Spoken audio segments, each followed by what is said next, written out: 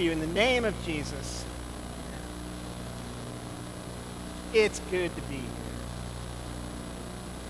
Yeah, thank you. thank you.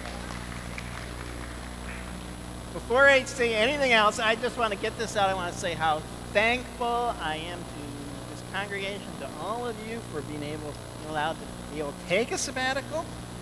I thank you for the freedom to be able to step away and to read and actually have time to think about what I read, uh, time to travel and time to observe and, and learn from others, and finally time to reflect on all of that. So I do really, truly thank you very much from the bottom of my heart.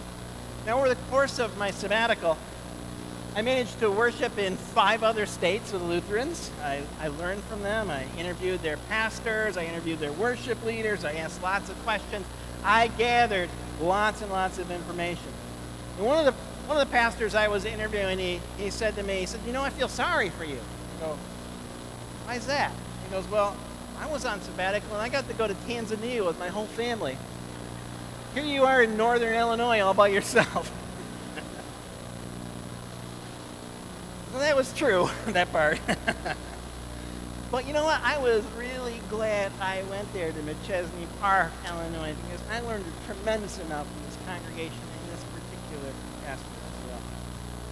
Now, the weeks that I wasn't traveling, I wasn't traveling all the time, the weeks that I wasn't traveling, I had a chance to worship with some other local Lutheran congregations, and that was great too. I wasn't on the clock there, I wasn't taking notes and all that. But I, you know, when you have those experiences where you're out with the, the neighboring congregations, you get a chance to see what other communities of faith are like, uh, what their worship is like. You, what's the mood? I, can I sense the mood of the congregation? Can I, can I get a little drift of what their hopes and their dreams are? That was all very valuable. And then over this past week or so, I've had final wrap-up time, and I've been, been trying to make sense of everything that I have seen and experienced. I've been trying to draw some conclusions and, and make some recommendations. And I hope uh, very soon to be sharing those with the leaders of our congregation and with anybody else who's interested. So if you're interested in seeing my, my final report on the sabbatical, it's a little too long to publish in Connections, so, but I'd be happy to share it with anybody who wants to take a look at it just let me know. Send me an email if you're interested in that. But right now, what I want to say is it's good to be here at It's good to be here with you. Us together. You know, as I travel around, I, I may have seen a few congregations that maybe in one aspect or another might have had a little better practice than we do. You know, I was I was mostly studying contemporary worship in various settings around the country. concentrating on that, but you can't help but notice everything else as well. And these were all really good congregations. They were recommended to me by pastors all across the nation. It wasn't just, here's three people I know, call them up and ask them. Uh, what I did is I put this out on social networking media for ELCA clergy, and there's a potential 8,000 different ELCA pastors saw my proposal A whole bunch of them responded to me. And so what I was looking for, I narrowed the list down. I got down to the best mid-sized congregations in the entire nation were doing contemporary worship. These were, these were good congregations. Having said that, I have to say this. I may, I may have picked up a better practice here and there, but after seeing the supposed best all across the nation, I, I will tell you that Prince of Peace is a really awesome congregation. Yeah, yourselves a hand. And there are many things that all of these best congregations could learn from us. But anyway, it's good to be back. I missed you. Good to be home. Learning doesn't stop there. I, I hope you had a chance to learn too while I was away. That as you worshiped and as you experienced, perhaps you learned a thing or two along the way. And we as a congregation, we can grow together and we can adapt and we can be even better at living out that purpose that God has given us. Even better than we already are. Fact is, no person, no organization, and especially no congregation can ever stay entirely the same. Now, it may be comfortable to say we want to stay the same, but it doesn't work. At least not if you want to live. Certainly not if you want to grow. Not if we want to follow the living God wherever the living God might call us, lead us. Nothing changing in the congregation means one thing, means death. You're not going to change. Because the world and the community, we are constantly moving on. And Jesus has a thing or two to say about death. He's against it. There's an old joke. I've probably told you this one before. If I have, apologies. Please indulge me because it really fits here. It's just three people talking about what they would like said when the time of their own funeral comes. And the first, first guy says, You know what I want to hear at my funeral is I want people to say he was a wonderful, dedicated, skillful surgeon, that through his work he saved the lives and improved the lives of thousands of people The second person says, you know what I, I'd like to hear said at my funeral? I'd like to hear that, that I, this was a woman of great passion and was an advocate for the poor, that she gave of herself generously and tirelessly for the sake of others. I said, well, those are pretty good. But you know what I want to hear at my funeral? Look, he's moving.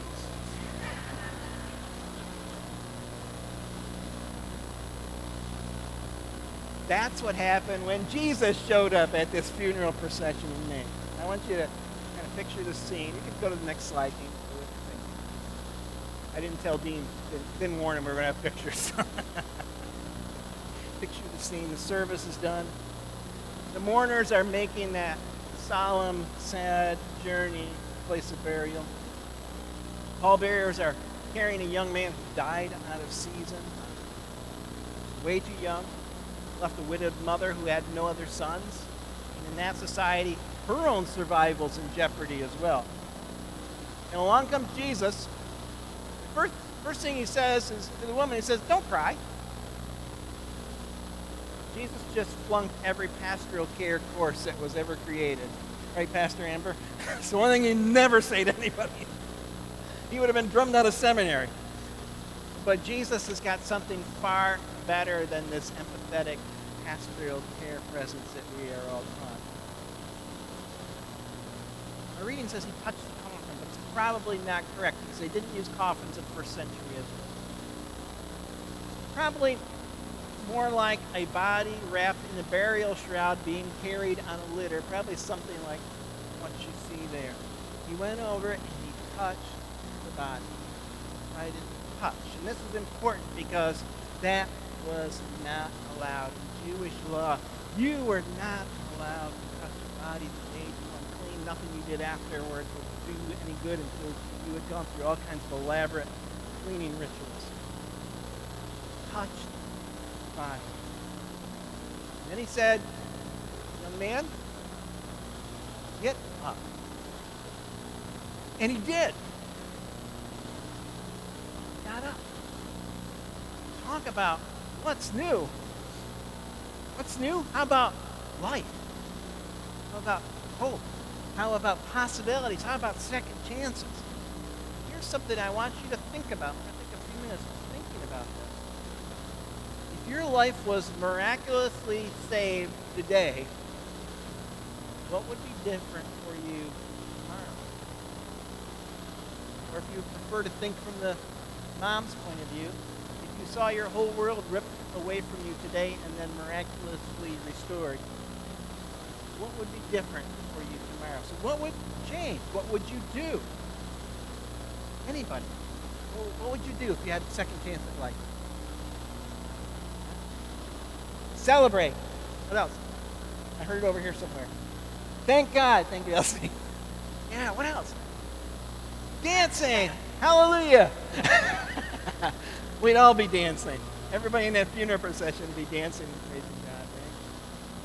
You know, I, I was thinking about this. And, what would I do different? Well, maybe I'd hold my family and loved ones a little bit closer. Maybe I'd spend a little more time with them.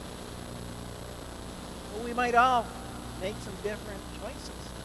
Don't know why the young man died. Maybe he made a bad choice. And now here's a chance to not make that kind of choice again. We don't know. in my imagination, though, I kind of, when he sits up, I kind of picture him, him and mom looking at each other and saying to each other, you know it is good to be here with you, and it's good to be here with Jesus. Now, they weren't the only ones there. There was a large crowd that followed Jesus. There were all the people from the village. They had reactions too. The first reaction they had was fear. They filled fear. Now, that fear might be the sense of awe and reverence, but I think it's also really fear, afraid fear. In the Bible, when you come close to God, that's usually the reaction. Angels, God are always saying, fear not, first thing they say. I think when they saw what had just transpired before them, they knew they were in the very presence of God, and so naturally they were filled, filled with fear. But they didn't stop there. They didn't get stuck on fear. Because the next thing they were filled with was praise. They gave words to what they experienced. Luke recorded a couple of them. Like a great prophet has appeared among us. This God has come to save his people. They didn't stop there. They went they told others. The news spread throughout the country and the surrounding territories. What do you have? Awe, praise, witness, living and sharing the news. Think about it. That sounds like the mission of the church, doesn't it? Awe, praise, witness. Living the good news, sharing the good news. Now, sometimes when I hear a story like this, my initial thought is, I wish I could have been there. Wouldn't it have been cool to see that, experience that? You ever feel that way? Well, I want you to know this. You have. Now, I haven't seen anybody sit up out of a casket yet. Probably you haven't either. But think about this. Every time we encounter Jesus, there's a miracle of new life. Every time we realize Jesus loves us, that's a miracle of new life. Every time we realize our sins are forgiven, that's a miracle of new life. Every time we look at somebody else and we see Jesus in them, that's a miracle new life. Every time someone looks at us and sees Jesus in us, that's a miracle new life. Even at funerals, we heard these words yesterday at, at Margaret's uh, memorial service. When we hear that promise of eternal life, and we believe and we know that, that one day we too will gather with our loved ones before the, before the throne of the Lamb. And we know we realize the miracle of new life, that we're going to be there. That party has no end. Where maybe, just maybe, we'll look at each other and say to one another, you know what? It's good to be here with you. And it's good to be here with Jesus. What's new? Life with one another. Life with Jesus. Every day. In every way. Now may the peace of God which passes all understanding keep your hearts and your minds in Christ Jesus.